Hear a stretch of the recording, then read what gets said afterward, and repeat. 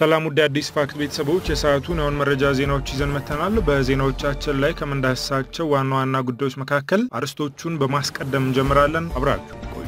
የምርጫ አስፈጻሚዎች ምርጫ ቦርድ የገባልንን ውል ካልፈጸመ ለአንድ ወር ያክል መራጮች ሲመዘገቡበት የነበረውን መዝገብ ለምርጫ ቦርድ አናስረክብም ሲሉ ቀን ቆርጠው ዝተዋል። ለመሆኑ የምርጫ አስፈጻሚዎች የተገባላቸው ቃል ምን ነበር? ዝርዝር መረጃውን የምንነግራችሁ ይሆናል። የኢትዮጵያና ከአሜሪካ ጋር የማትዋደደው ሀገር የሩሲያ ወዳጅነት ይበልጥ እየተጠናከረ ያለ ይመስላል። በጉዳዩ ላይ አዲስ መረጃ ወደ እናንተ የምናደርስ ይሆናል። የፖለቲካ ፓርቲዎች ከዘለፋ ይልቅ በዚህ ላይ ያተኩሩ የሚል ምክር ተሰምቷል። ለመሆኑ የፖለቲካ ፓርቲዎች በምን ላይ እንዲያተኩሩ ተመከሩ? መካሪውስ ማን ነው? ምላሹን ይዘናል። በአዲስ አበባ ያለ አግባብ የተያዘ 13 ሚሊዮን ካሬ ሜትር ቦታ ተገኘ የሚል መረጃ ተሰምቷል። መሬቱ ምን እንደተደረገም ከከንቲባዋ ተሰምቷል። በሌላ በኩል ደግሞ ከመሬታችን ተፈናቀልን ያሉ ነዋሪዎች ምሬታቸውን አሰምተዋል። በዝርዝር እንመለስበታለን። በባህር ዳር ከተማ ትላንት በነበረው ሰልፍ በበርካቶች ላይ ጉዳት መድረሱን የሚገልጽ አዲስ ዜና ተሰምቷል። ምን ያክል ጉዳት ደረሰ የሚለውንና ተያያዥ ጉዳዮችን የሚዳስስ መረጃ እናቀብላችኋለን። የሸዋሮቢት ማረሚያ ቤት ላይ ጥቃት ተፈጽሟል፣ ታራሚዎችም ላይ ጉዳት ደርሷል እየተባለ ስላለው ጉዳይ ከስፍራ የተገኘ የጠራ መረጃ እነግራችኋለን። ከትላንት በስቲያ ኢሰመኮ በቤንሻንጉል ጉሙዝ ክልል አንድ ወረዳ ሙሉ በሙሉ በታጣቂዎች ቁጥጥር ስር መዋሉን አሳውቆ የነበረ ቢሆንም የክልሉ መንግስት መረጃው መሰረተ ቢስ ነው የሆነው ወዲህ ነው እኔ ልንገራችሁ ሲል ትክክለኛ ያለውን መረጃ አሰራጭቷል። የአስገራሚውን መረጃ ዝርዝሩን ይዘነዋል። ውድ ታዳሚያን ከላይ የሰማችኋቸውን አርዕስተ ዜናዎች በዝርዝር እንመለከታለን። አብራችሁን ቆዩ። አብራችሁን ስለምትቆዩ እናመሰግናለን።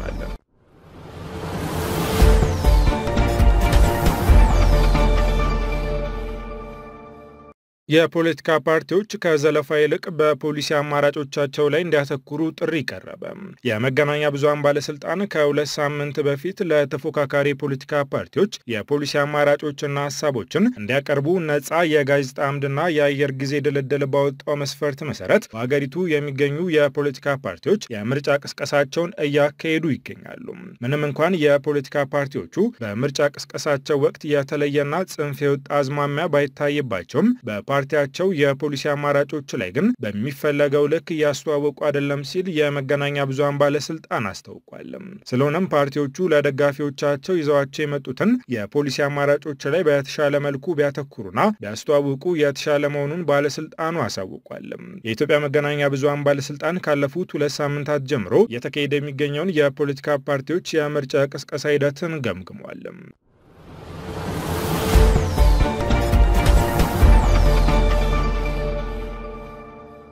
ትላንት በባህር ዳር በተካሄደው የተቃውሞ ሰልፍ ላይ በሰልፈኞችና በጸጥታ ኃይሎች መካከል በተነሳ ግጭት 34 ሰዎች መቁሰላቸውን የከተማዋ ምክትል ከንቲባ ዶክተር ደረሰ ሳሉ ዛሬ ለዶቼ ቬለ አሳውቀዋል። ዶክተር ደረሰ እንዳሉት በግጭቱ ቢያንስ 30 የሚሊሻና አድማ በታኝ ኃይሎች ከባድና ቀላል ጉዳት ደርሶባቸዋል። ከሰልፈኞቹ መካከልም አራት ቆስለዋል የተባለው ምክትል ከንቲባው ባለፉት ሶስት ቀናት በከተማዋ ሰልፎች መካሄዳቸውን፣ በዚህ ወቅትም የመንግስትና የግል ተቋማት ስራ ማቆማቸውንም ገልጸዋል። የመጀመሪያው ቀን ሰልፍ በሰላም መጠናቀቁን በሁለተኛው ቀን የተደረገው ሰልፍ አስተዳደሩ ትክክል ነው ብሎ ባያምንም በሰላም ማብቃቱን አስረድተዋል። ሆኖም ትላንት የተካሄደው ሰልፍ ተገቢ አልነበረም ያሉት ምክትል ከንቲባው ከሌላ ቦታ የመጡ ያሏቸው አብዛኞቹ ሰልፈኞች የተለየ ተልዕኮ ነበራቸው ብለዋል። ከንቲባው ሰልፈኞቹ የከተማዋን የመብራት ምሰሶዎች በመጣል መንገዶችን በድንጋይ በመዝጋት የአከፋፋይ መንገዶችንና አጥሮችን በማፍረስ የከተማዋን ገጽታ ለማበላሸት ሲሰሩ እንደነበረም ለማረጋገጥ ችለናል ብለዋል። በዚህ ዓላማውን የሳተ ባሉት ሰልፍና ግርግር አንዳንድ ተቋማት በተወሰነ ደረጃ መጎዳታቸውንም ገልጸዋል። ሁኔታው ወደ ከፋ ደረጃ ከመሸጋገሩ በፊትም ሰልፉ እንዲበተን መደረጉን አስረድተዋል። ለቀናት ተቋርጠው የነበሩ የትራንስፖርት አገልግሎትን ጨምሮ ሌሎች ስራ ያቆሙ የመንግስትና የግል ተቋማት ከዛሬ ጠዋት ጀምሮ ወደ ስራ መመለሳቸውንም ምክትል ከንቲባው ለዶቼ ቬለ ተናግረዋል። ዶቼ ቬለ ዘጋቢ ተዘዋውሮ ከተማዋን ተመለከተ እንዳለው ከሆነም ተቋማት ስራ ጀምረዋል፣ መደበኛ የትራንስፖርት አገልግሎትም ቀጥሏል። ይህ በእንዲህ እንዳለ የአማራ ሞት ወከባ ይቁም የሚል ሰልፎች ዛሬ በተለያዩ የአማራ ክልል የወረዳ ከተሞች ተካሂደዋል። እንደየአካባቢው የመንግስት ኮሚኒኬሽን ጉዳዮች መረጃ ሰልፍ ከተካሄደባቸው ከተሞች መካከል በአዊ ብሔረሰብ አስተዳደር ቲሊሊ፣ ዳንግላ እና አዲስ ቅዳም፣ በምዕራብ ጎጃም ቡሬ፣ በምስራቅ ጎጃም ደጀን፣ በሰሜን ሸዋ ምንጃርና በደቡብ ጎንደር ደብረታቦር ከተሞች ይጠቀሳሉ።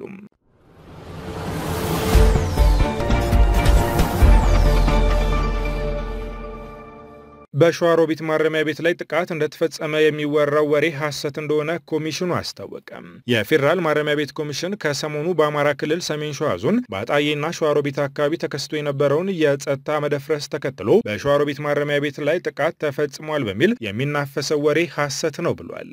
የፌዴራል ማረሚያ ቤት ኮሚሽን የሕዝብ ግንኙነት ኃላፊ አቶ ገረመው አያሌው ለኢትዮ ኤፍኤም እንደተናገሩት በተለያዩ ማህበራዊ ሚዲያዎች በሸዋሮቢት ማረሚያ ቤት ላይ ጥቃት እንደተፈጸመና በታራሚዎች ላይም ጉዳት የደረሰ በማስመሰል የተለያዩ የፈጠራና የሐሰት ወሬዎች እየተሰራጩ ነው ብሏል። በዚህም የታራሚ ቤተሰቦች በከፍተኛ ጭንቀት ውስጥ መሆናቸውን በተለያዩ መንገዶች መረጃዎችን ለተቋማቸው እየደረሱ እንደሚገኙ ነው አቶ ገረመው የተናገሩትም። በአካባቢው ቀደም ሲል ግጭትና ግርግር ተፈጥሮ የነበረ ቢሆንም ማረሚያ ቤቱ ላይም ሆነ የህግ ታራሚዎች ላይ ምንም አይነት ጉዳት አለመድረሱን ነው ኮሚሽኑ ያስታወቀው። በአሁኑ ሰዓት ማረሚያ ቤቱ በተረጋጋ ሁኔታ መደበኛ የጥበቃና የማረምና የማነጽ ስራውን እያከናወነ እንደሚገኝ ኃላፊው ተናግረዋል።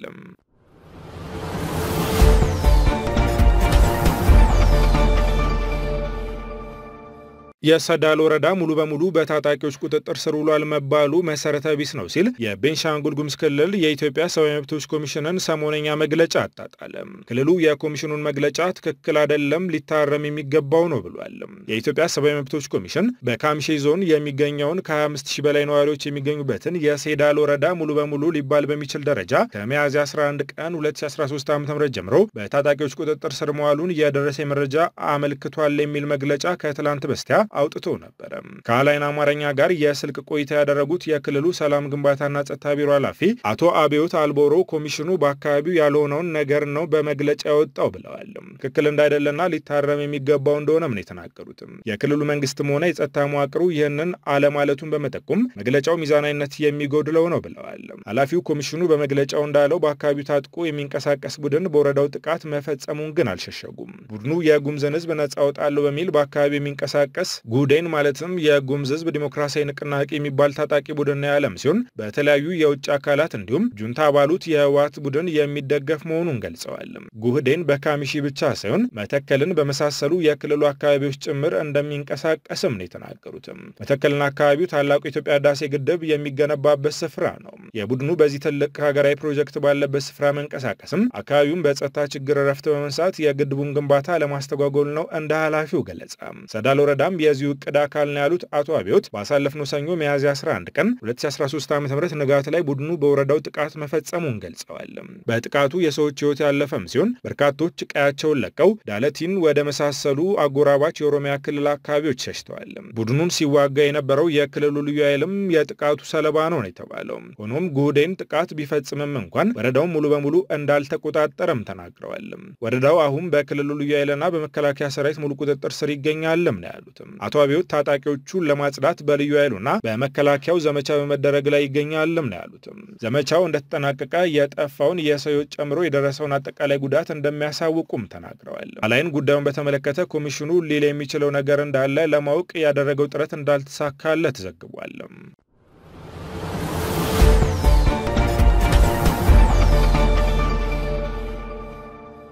በአዲስ አበባ ያለ አግባብ የተያዘ 13 ሚሊዮን ካሬ ሜትር ተገኘ ተባለ።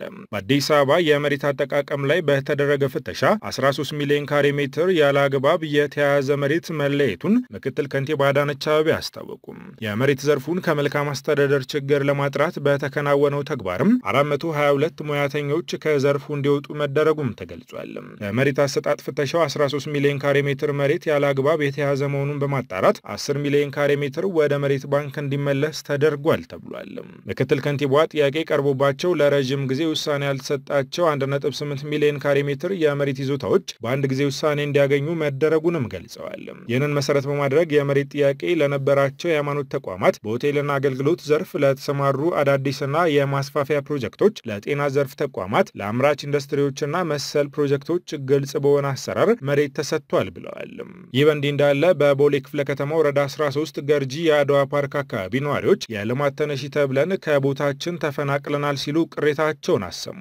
በኢጋድ ለሚገነባው የካንሰር ህሙማን ማዕከል ግንባታ ቦታው ስለሚፈለግ ምትክ ቦታ በካሳ መልክ ይሰጣቸዋል ተብለን ከቦሌ ክፍለ ከተማ ወረዳ 13 ገርጃ አድዋ ፓርክ አካባቢ እንድንነሳ ሲደረግ ከወረዳ 13ና ከቦሌ ክፍለ ከተማ ካሳ እንደሚሰጠን የተገባልን ቃል ግን አልተከበረም ሲሉ ነዋሪዎቹ ተናግረዋል። ነዋሪዎቹ አክለውም ስምምነት ከተፈጠረ ከቀናት በኋላ ማስጠንቀቂያም ሳይሰጥ ቤታችን ፈርሶብናል ያሉትም ከወራት በኋላ ደግሞ በቦታው ላይ 67 ሰዎች በላስቲክ ቤት ሰርተው እየኖሩ እያለ ክፍለ ከተማው በላስቲክ የሰራናቸውን መጠለያዎች በእሳት አቃጥሎብናል ሲሉ ቅሬታቸውን ለአሃዱ ተናግረዋል። የነዋሪዎቹን ቅሬታ በመያዝ የቦሌ ክፍለ ከተማን አነጋግር ያለው ያለው አሃዱ ክፍለ ከተማውም በቦታው በቀበሌ ቤት የሚኖሩ እና በ1997 እንዲሁም በ2000 ዓ ም የአየር ካርታ ቤቶቻቸው የሚታዩና በመቶዎች የሚቆጠሩ በላስቲክ ቤት ሰርተው የሚኖሩ ነዋሪዎች እንደነበሩ አስታውቋል። ካርታ ላላቸው ነዋሪዎች የኮንዶሚኒየምና የመሬት ካሳ የተሰጠ ሲሆን ለሌሎች ደግሞ ጥናቱ በቂ ባይሆንም የገንዘብ ካሳ ተሰጥቷቸዋል ሲሉ የቦሌ ክፍለ ከተማ ምክትል ስራ አስፈጻሚና የኢንዱስትሪ ቢሮ ጽህፈት ቤት ኃላፊ አቶ በረከት ተሰማ ተናግረዋል።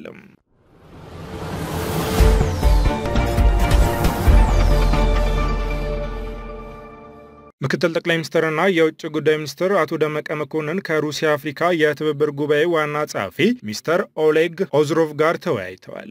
መሪዎቹ የተወያዩት በቀጣይ ዓመት በአፍሪካ ሊካሄድ ስለታሰበው ሁለተኛው የሩሲያ አፍሪካ ጉባኤ ዙሪያ ሲሆን ኢትዮጵያ ጉባኤውን ለማዘጋጀት ዝግጁ መሆኗን ገልጻለች። ሚስተር ኦሌግ ስለ ሩሲያ አፍሪካ የትብብር ጉባኤ ስራዎችና ሁለቱ ወገኖች ስለሚተባበሩባቸው አጀንዳዎች ዙሪያ እንዲሁም ስለ ጉባኤው ዓላማዎች ለአቶ ደመቀ ገለጻ ማድረጋቸውን የውጭ ጉዳይ ሚኒስትር ቃል አቀባይ ጽህፈት ቤት አስታውቋል። መሪዎቹ ሁለቱ ሀገራት በቴክኖሎጂ በጸጥታና ደህንነት፣ በግብርና፣ በኒውክለር ቴክኖሎጂና ሕክምና ዘርፎች ላይ በጋራ መስራት በሚችሉባቸው አጀንዳዎች ዙሪያ መወያየታቸውም ተገልጿል። የሩሲያ አፍሪካ የትብብር ጉባኤ ዋና ጸሐፊ የሆኑት ሚስተር ኦሌግ አቶ ደመቀ መኮንንን ሞስኮን እንዲጎበኙ በሩሲያ የውጭ ጉዳይ ሚኒስትር ሰርጌይ ላቭሮቭ ግብዣ እንደቀረበላቸውም ተናግረዋል። ኢትዮጵያ ከሩሲያ ጋር ያላትን ግንኙነት ማሳደግ እንደምትፈልግ የተናገሩት አቶ ደመቀ ሩሲያ ጉባኤው በአፍሪካ እንዲካሄድ መወሰኗን ስለማድነቃ ቸው የኢትዮጵያ ውጭ ጉዳይ ሚኒስቴር በድረገጹ አስታውቋል። የመጀመሪያው የአፍሪካ ሩሲያ ጉባኤ ባሳለፍነው ዓመት በሩሲያ ሱቺ ከተማ የተካሄደ ሲሆን በዚህ ጉባኤ ላይ ጠቅላይ ሚኒስትር አብይ አህመድ መገኘታቸውና ከሩሲያ ፕሬዚዳንት ቭላዲሚር ፑቲን ጋር በሁለትዮሽና ዓለም አቀፍ ጉዳዮች ዙሪያ መወያየታቸው አይዘነጋም።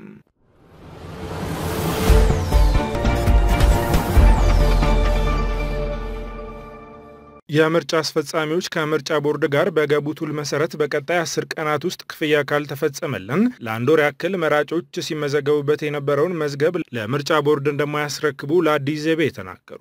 ስማቸው እንዲጠቀስ ያልፈለጉ በአዲስ አበባ ከተማ በኮልፌ ቀራኒዮ ክፍለ ከተማ በሚገኝ የምርጫ ጣቢያ የሚሰሩ የምርጫ አስፈጻሚዎች እንደተናገሩት ከሆነ በስምምነታችን መሰረት ክፍያ እንዲፈጸምልን በተደጋጋሚ ለምርጫ ቦርድ ጥያቄ ብናቀርብም ተፈጻሚ አልሆነም። ስለዚህ ይህንን አማራጭ ለመውሰድ እንገደዳለን ብለዋል። የመራጮች ምዝገባ በተገባደደ በአስር ቀን ውስጥ የአካባቢ ወረዳ አመራሮች፣ የጸጥታ አካላትና የምርጫ ቦርድ ተወካዮች በተገኙበት የሚከናወነው የመዝገብ ርክክብ የስራችንን ክፈሉን ጥያቄ ሳይመለስ ተግባራዊ እንደማይሆን የሚናገሩት የምርጫ አስፈጻሚዎች አሁን የተፈጠረው የምርጫ ቦርድ አፋጣኝ ምላሽ አለመስጠት ተጨምሮ ርክክቡ ከተከናወነ በኋላ ሙሉ በሙሉ ክፍያው ሳይፈጸም ቢቀርስ የሚል ስጋት እንዳላቸው ለአዲስ ዘይቤ አስታውቀዋል።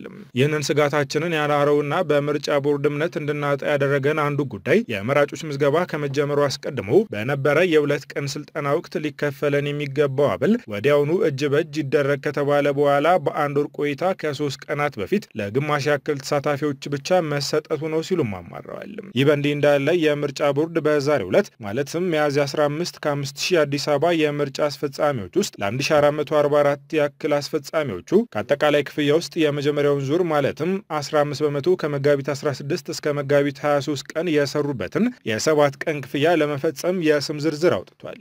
የምርጫ አስፈጻሚዎቹ በወቅቱ መከፈል የነበረበትን ይህንን ክፍያ 22 ቀናት ከተቆጠሩ በኋላ አሁን ላይ ይከፈላል መባሉ ሙሉ በሙሉ ሁሉንም አስፈጻሚዎችን አለማካተቱና በዛሬው ዕለት ማግኘት ከሚገባቸው 30 በመቶ ግማሽ ያክል መሆኑ ይበልጥ ቅሬታ ውስጥ ከቶናል ብለዋል። እስካሁን ድረስ በቀድሞ ሀሳባቸው እንደጸኑ የተናገሩት የምርጫ አስፈጻሚዎች በውላችን መሰረት ማግኘት የሚገባንን ሙሉ በሙሉ ካላገኘን መዝገብ ያለማስረከብ የመመዝገቡን ሀሳብ አናቆምም ሲሉም ተናግረዋል።